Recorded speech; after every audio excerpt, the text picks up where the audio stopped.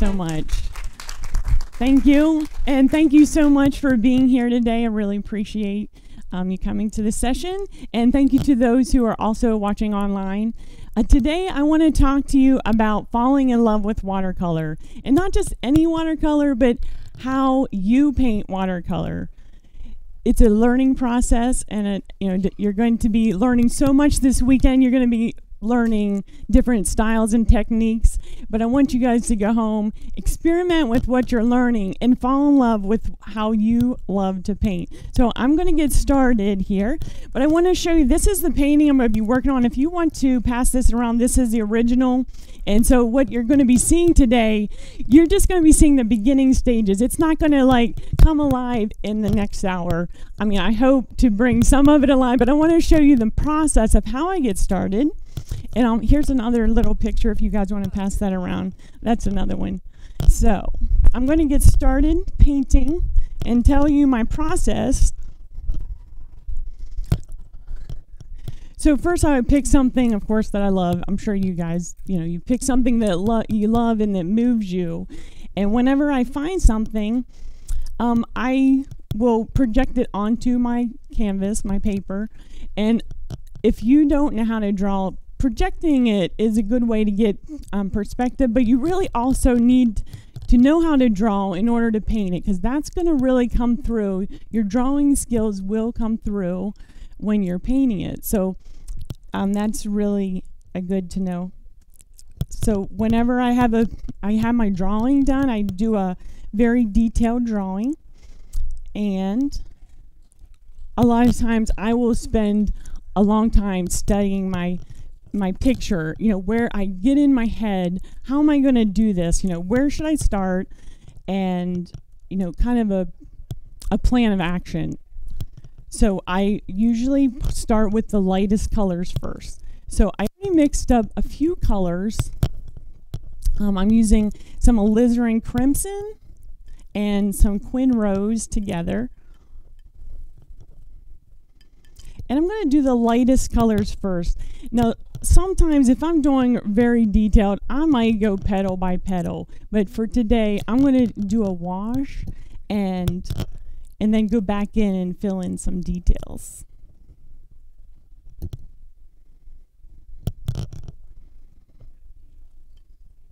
And also, if I don't want to use uh, strong colors, if I want to tone them down a little bit, I'll put in um, maybe a little bit of the imperial purple and a tiny bit of hooker's green. Those are my favorite colors to mix to tone down a color. It's kind of like making a gray, but you're it's a natural makes it look more natural instead of straight from the tube in your face kind of thing. Some people like that, you know, the entertainment quality factor, but for me when I'm trying to get realism, I wanted to make it look very like real colors, like what you're seeing in the flower, not what you, you know, like an entertaining color.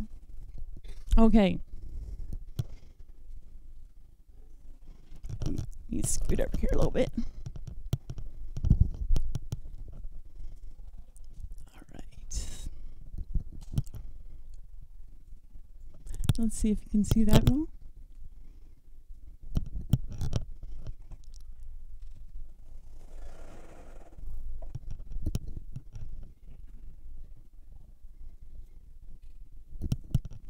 And if you guys have any questions while I'm painting, Hooker's green. And the purple was imperial. Imperial purple. A Quin Rose with a little bit of alizarin crimson. Um, I think it's Daniel Smith. Okay, thank you. Yeah, usually mostly Daniel Smith colors. But I have branched out. I've gotten some. Um, oh, what's the one with the honey base in it? Uh, the other one. I'm sorry. What was M. Graham? That one.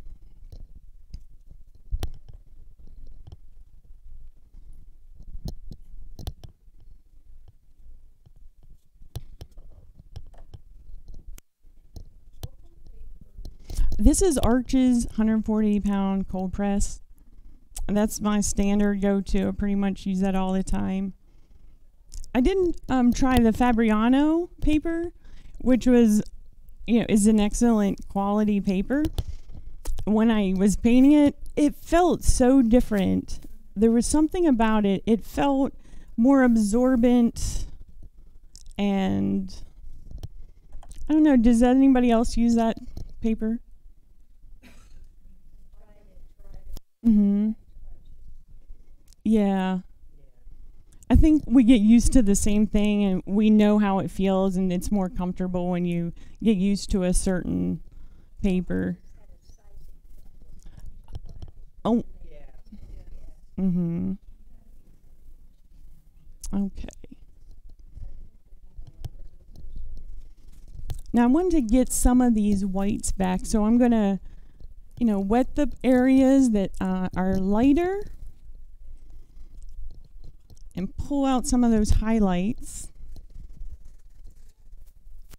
And if you're getting very technical, you can use some Miskit or um, that's it's another added process whenever you're using Miskit uh, to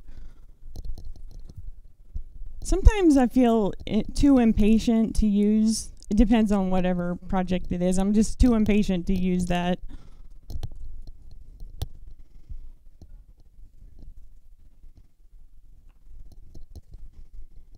Another thing about um, when you're putting in your shadows, which I'm going to start that, I mixed up some Imperial Purple Hooker's Green with ma mainly the colors, the uh, Quin Rose and the Alizarin Crimson, just a little bit. Um, but to tone down that shadow, um, added that Imperial Purple and Hooker's Green. And I just want to do a very light tone of that. Oh, I also added a little bit of cerulean blue. It's the um, the Daniel Smith cerulean blue.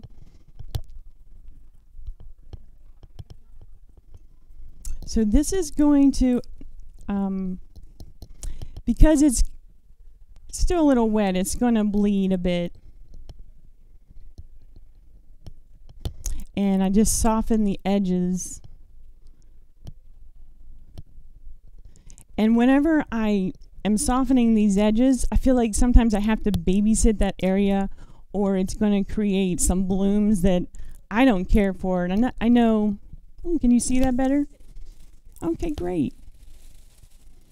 I can't see, but I'm glad you guys can. Okay. All right, thank you, thank you. No, I can see fine enough. That's great. This is good. Now, what color is that? Just hey, if I can't see you guys, that's okay. Just. All right, no, it's good. Oh, that's even better. Does anybody got a flashlight?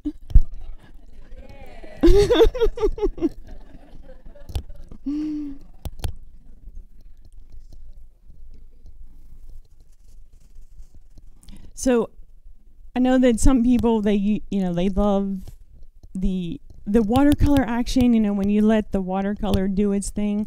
Well, that's not the class you're in right now. Um, that's probably another room. But I like to be in control of the watercolor because I want my I want my flower to look just like the flower.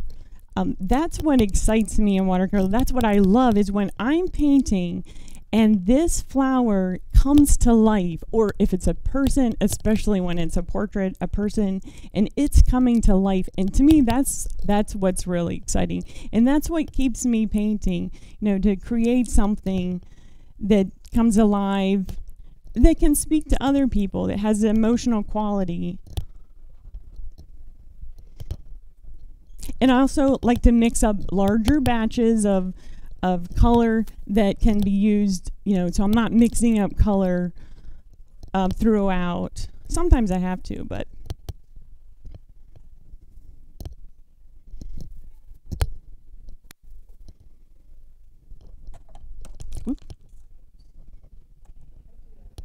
Yeah, I do too. I, the brush slips and.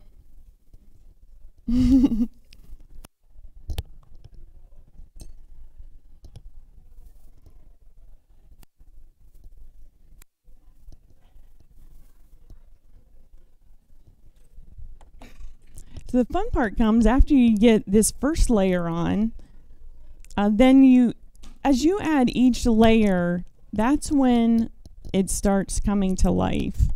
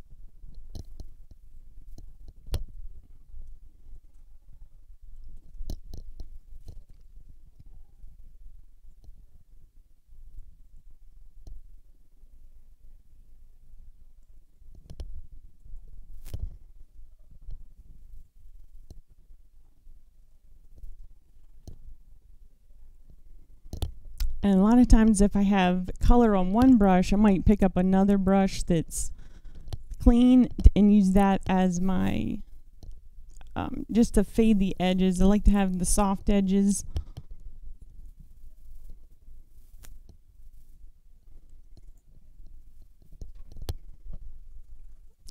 Then I forget which brush was had the color on it. No, well, yes, this area is still damp. It's it's kind of buckled, so that. Um, a lot of times, I might just let that totally dry and then come back in and put the the shadows on top.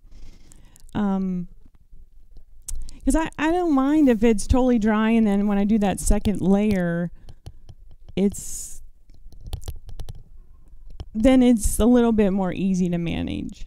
Yes. Mm-hmm. Right.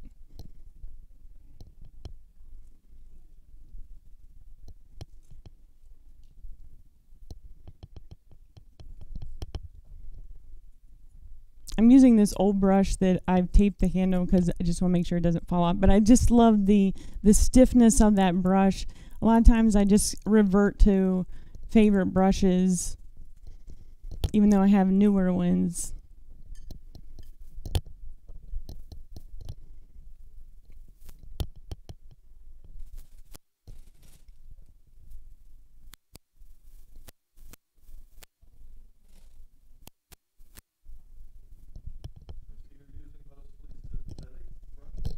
Yes, yes, I do mostly use that. I do have a Isabey, which this is probably maybe real squirrel hair. I'm not sure. but yeah, I just mostly use the synthetics.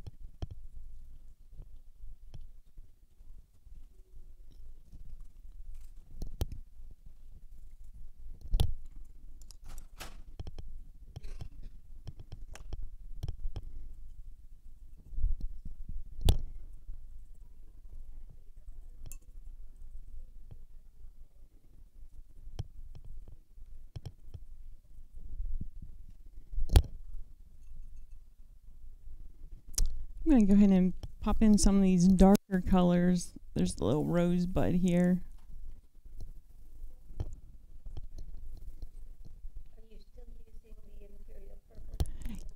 Yes. Mm-hmm. Yep.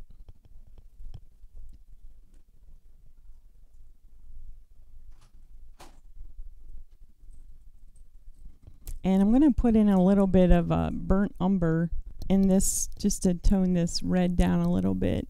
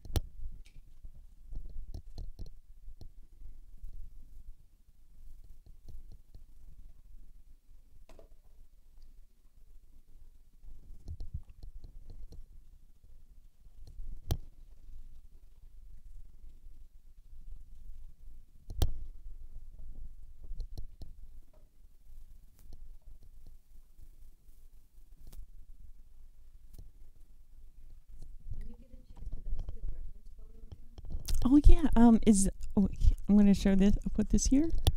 Um, also is um passing around the original painting. If anybody, if you guys still have that, if you want to pass it around, so you can also see, kind of get a little closer view of the brush strokes. Um, you know what? Yeah, let me see.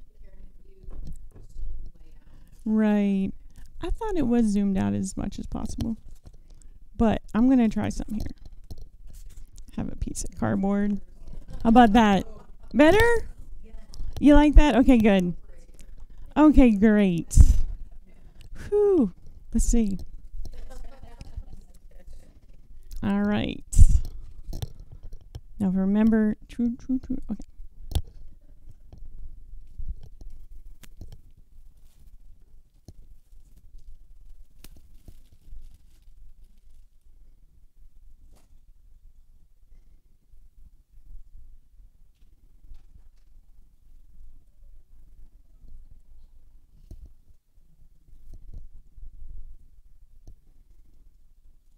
So even as you're laying down the color, you know, you're you're kind of drawing with your paintbrush.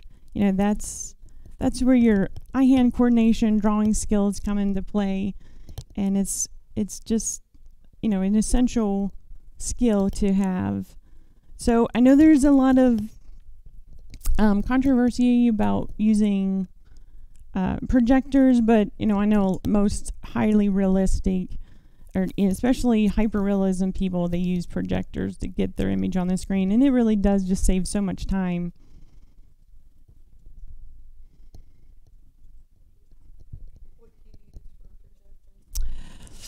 Oh, I cannot remember the name of it.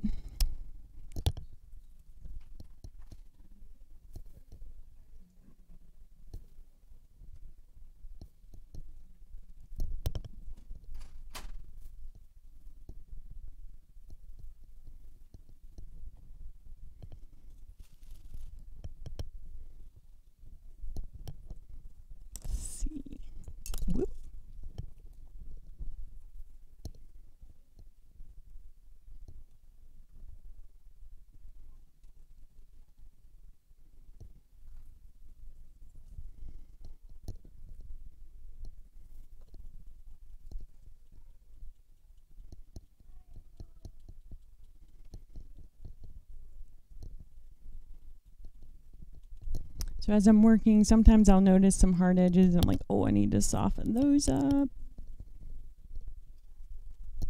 So it's like a little song and dance. You, you're you're going back and forth. You're checking areas where you've painted.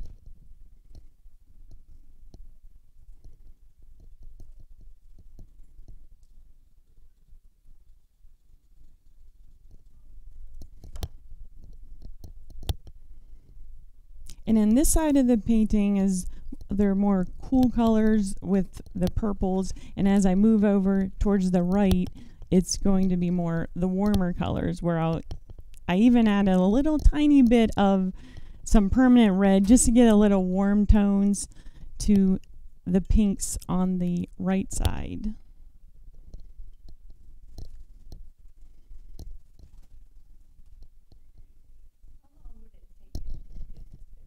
You know, I think the painting that I passed around, I want to say it took me about 15 hours.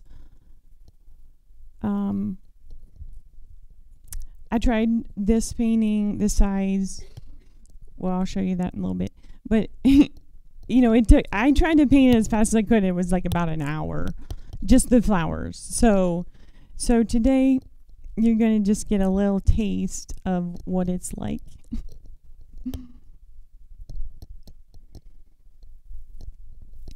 you guys want to hang around. We might. Can you order some luncheon?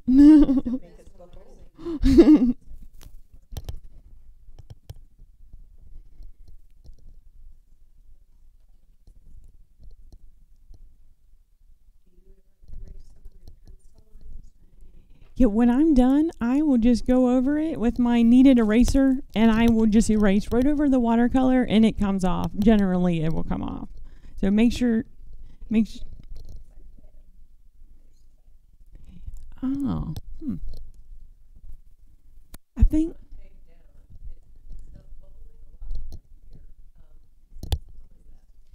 Now, what is that again? Oh, it is. It's actually taped down with paper tape. So, my the way I stretch my paper is I had this wet uh, this tape that you have to wet the background, and so I'll wet one side of the paper. I usually do it in the bathtub and you know make sure it's totally covered, just the one side, and then I'll lay it down and I have the tape. Um, then I wet the back of the tape and then I stretch it along the edges and let it dry for about a good. Well, usually let it dry overnight, but um, you know it's done in a few hours.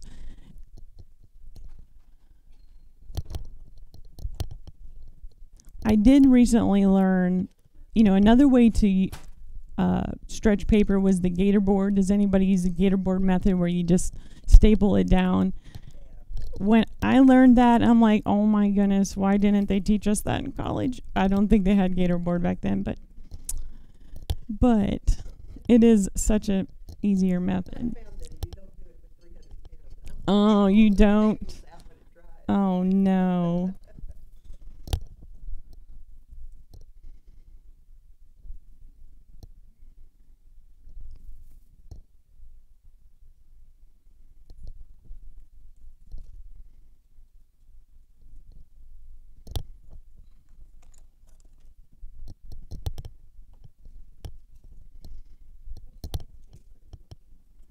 um, like the dimensions of it, this is a half sheet. Mm-hmm. So 15 by 22? Or, yeah.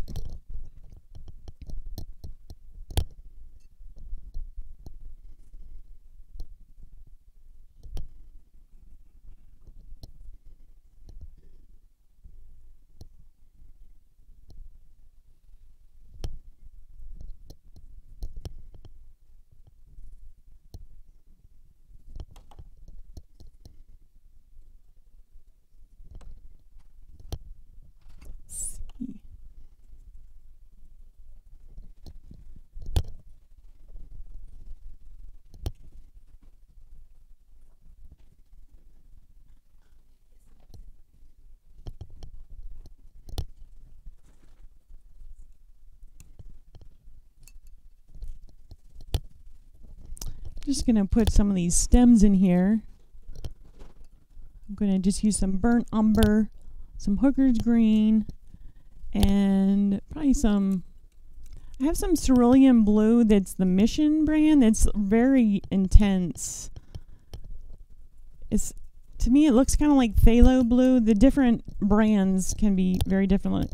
The cerulean blue is so different in the different brands. I don't know if you've noticed, but um, I haven't found one that I absolutely love. I'm not crazy about granulated paints, and the cerulean blue of the Daniel Smith gets granulated. Um, that's not controllable. So, and I like to be, you know, have control over it. But so I, but that's the one I usually revert to is the Daniel Smith cerulean blue. But I've tried others because I'm I'm searching. So, does anybody know a cerulean blue that does not granulate? Okay, maybe it's. I'm sure it's the the elements inside in the paint. Yeah.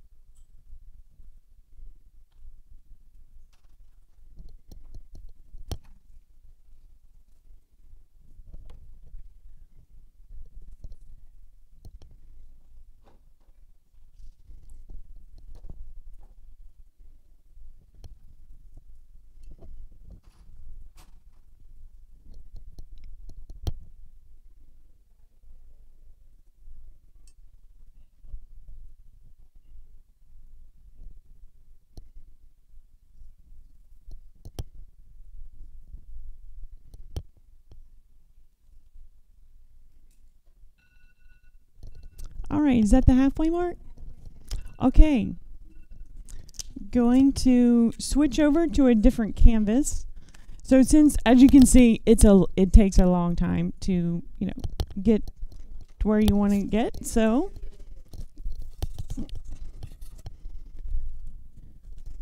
gonna just put that in my handy dandy oven. And um, so you know we got this to a a semblance of you know some kind of completion. Um, I also did the background here, which we never would have gotten through. Okay. So that, you know, just went ahead and did that portion as well. So I'm going to move on. I'm going to have take a different palette here. I love these porcelain palettes, which I just got at a thrift store many years ago. And I'm going to go ahead and we're going to work on the the picture here. And I'm going to use some, some, let's see here, phthalo turquoise and phthalo green. And that's going to give us a nice turquoise mixture here. Oh, that's right. We're going to move this over here.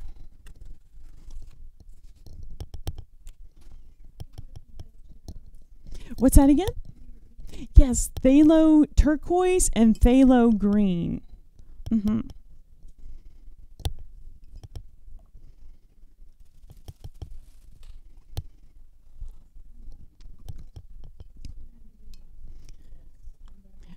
Another little thing I've done in the past is I've taken some old socks. If you instead of throwing those away, I just kind of I've sewn up some of the top parts and you know, I just use those as little absorbent pads for a yeah. So I you know I was just throwing them away or using them as rags. I'm like I think I could use these. So on this side, there's definitely some cooler tones, and on this side it gets lighter. So I'm going to mix up two different colors so I can do those both at the same time. This one I'm just going to make it a little bit stronger colors. Same two colors. And in order to get, let's see, I just said that there. In order to get the this uh, darker shadow, I'm going to add a little bit of some imperial purple. Uh, and it's not really that bright in the photo, so I'm just going to put a dab of this burnt umber. It really does kind of tone that down a bit. And I'm going to just strengthen this again a little bit more.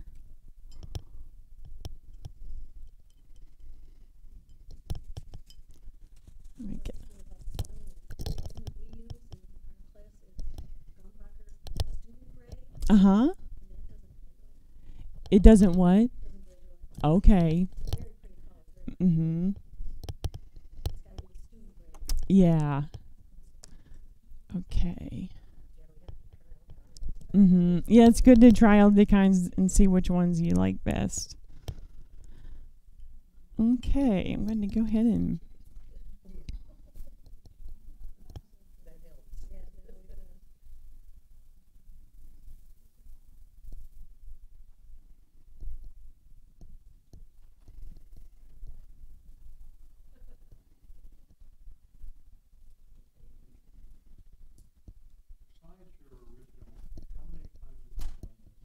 This particular one, uh, so I did the original one, and this particular doing this pot right now, what I'm doing is the second time I've done it.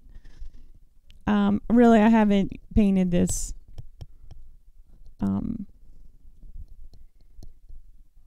very uh, that, and then the flowers that was the second time so you know this is somewhat new for me okay So I'm just getting some more water on my brush and lightening this up.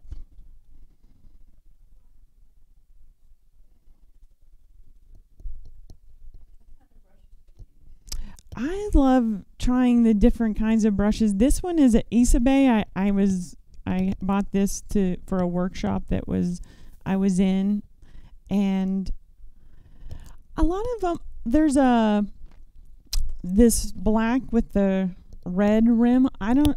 The name has worn off. I'm not sure what kind that is. Yes. Yep. Yep. That's it. Yes.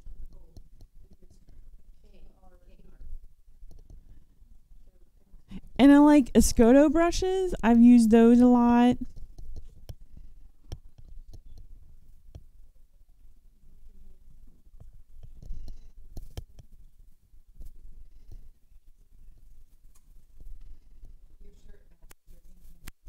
I, I didn't do that intentionally, but you know, you pick what you love to paint, so maybe you just kind of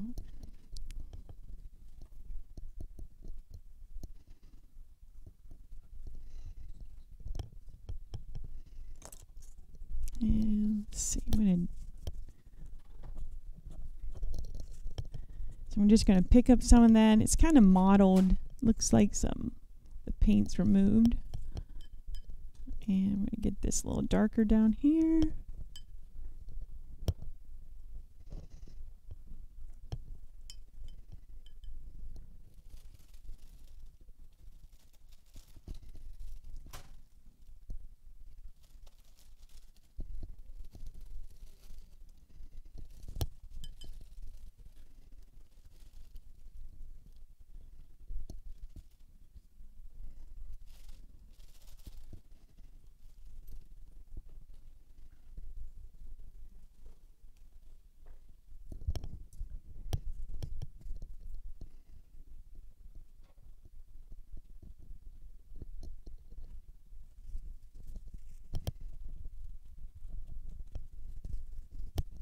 And I'm going to soften these edges where the green is going into the, the rust because if I don't soften those edges, that will definitely show up underneath that when I put the rust color on there.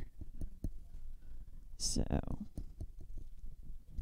and I need a little bit of a stiffer brush. That one's a little too loose.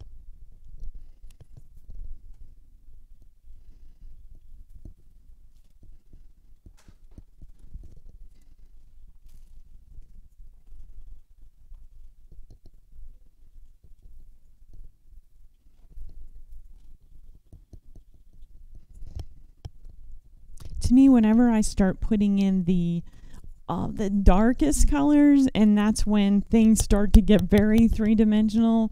That's when it gets exciting. That's when I, you know, I feel like, oh, okay, this is gonna turn out.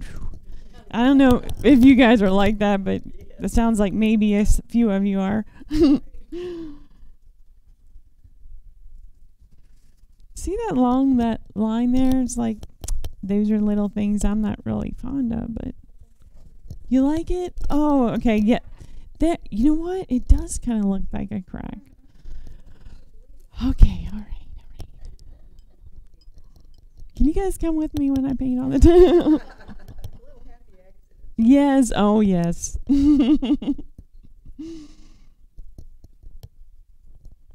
do you get your infor- uh, your inspiration photos? Do you take your own photos? Or do you just use them from everywhere? Whenever I do this is one of the first times I've ever used a stock photo. I did go online and you find this um, it was a free stock photo, but all the other times I use my own paint and my own photos. I love traveling, so I I uh, take a lot of photos.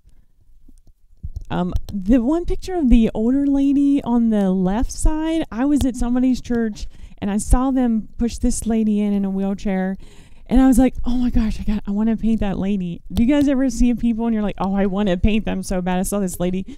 Yeah, I saw this lady going down the road ye- yesterday and she had all these bags on her bicycle. I'm like, "Oh man, I wish I could stop and ask her, but you know, I was actually I was on my way here, so um, but yeah, I had I asked the family if I could take that lady's photo, and and um, they were so nice, let me. Uh, the the the one on the left. Oh yeah, yeah. Yes, that is my aunt Kathleen. She passed away a few years ago. Sh- And that's one thing I wanted to ma- mention. I'm so glad you said that.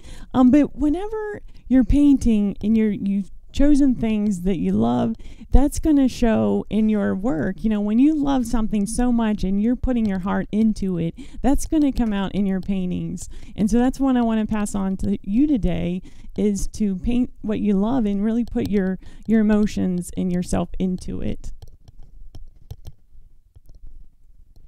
I'm going to mix up some rust color next. I'm going to use this burnt umber.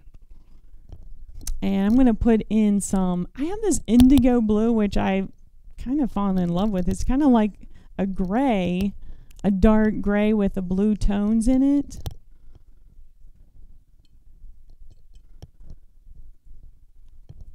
And I think I'm going to add a little bit of alizarin crimson. Just get that reddish.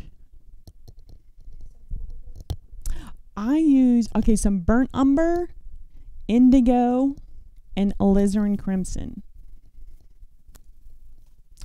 Okay, let me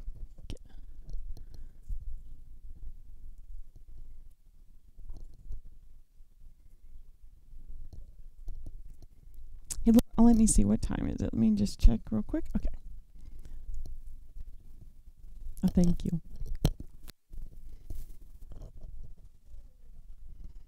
Okay, that's a little bit dark for that area, so I'm going to put some, what is that, the raw sienna with it.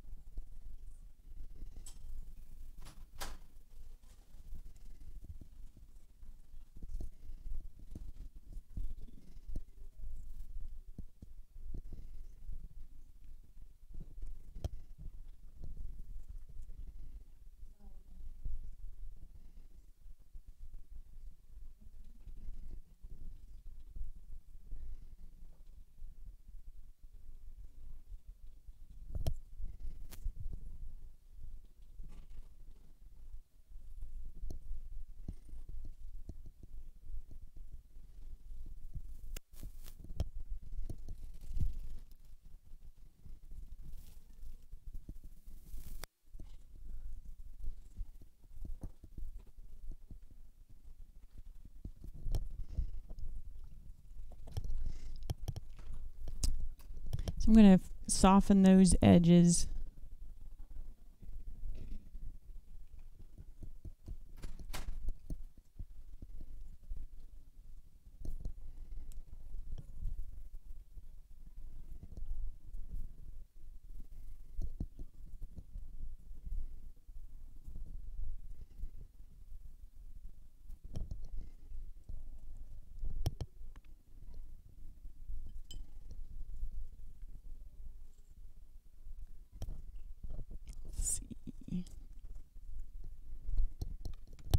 You better get this handle in here.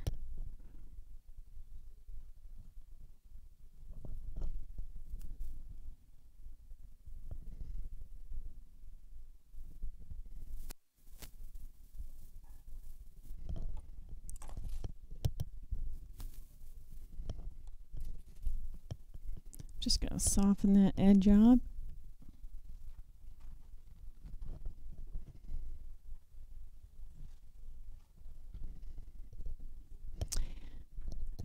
Okay, we can go ahead and put this dark color in here as well, and if it bleeds a little bit, because that area is kind of fuzzy.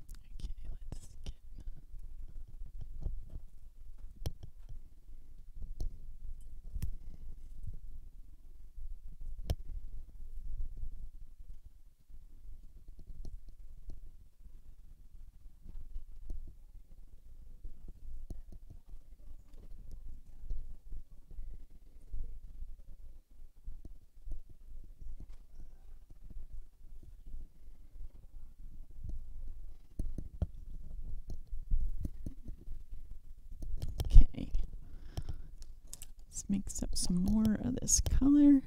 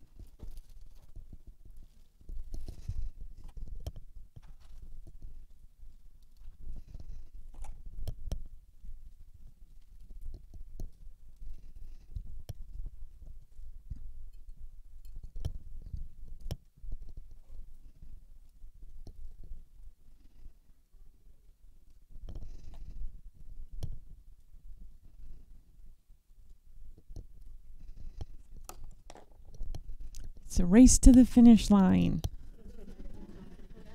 Okay, let's see. Okay.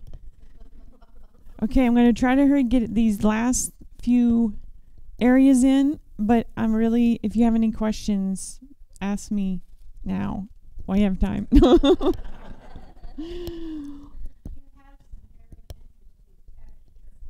yeah.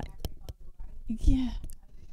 Yes, this was a very watery um, star. You know, you get the whole area wet, and then you just add in some colors, uh, the light colors. And as it dries, a lot of times you'll see it's drying so much lighter than you thought it was. Like, even with this, I would probably go back in and um, darken that up a little bit. So, as that dries, then you can go in and do like a little bit darker to get that to go back into space. That gives it dimension. Uh, just to go back in and layer, and that's the the fun part about layering things after it dries, is that it it brings it to life, and that's what gives so much dimension is the layering of the colors.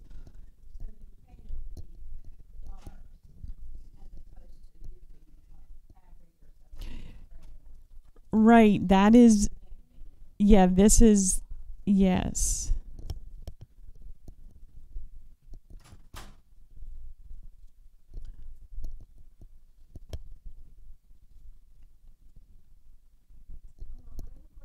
Sure. Yeah.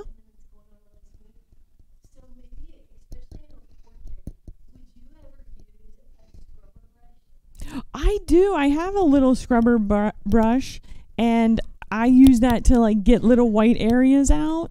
And I've honestly tried to. I've bought scrubber brushes, and I'm like, this looks like an oil scrubber brush. I don't even know what it is. So I really need to find um, some good scrubber brushes, but I do like using those.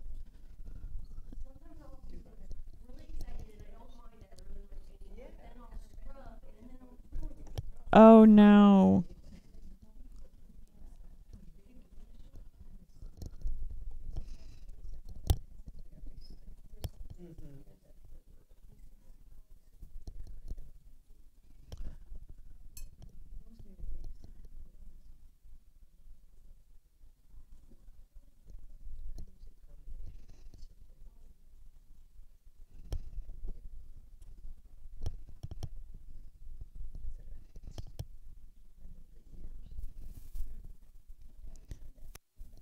So as as it dries, you can go back in and add some darks. Really helps add that dimension.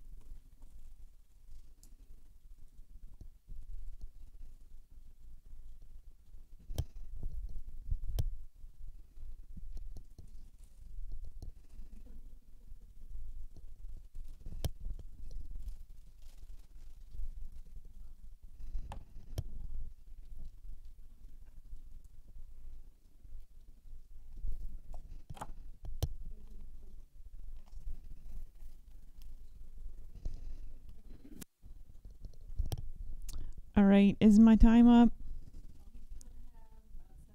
Okay.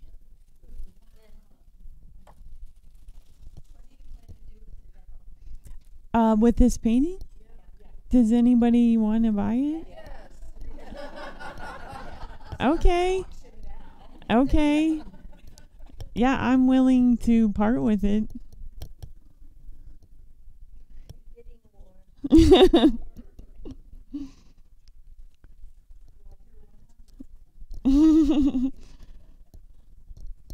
okay, well, one thing I forgot, I really do want to add this before it goes, is I didn't paint this shadow right here. I want to put this, cast this shadow.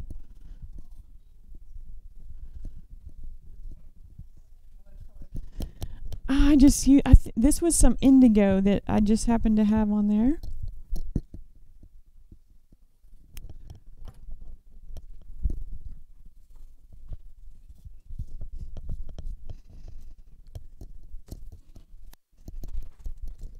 Okay.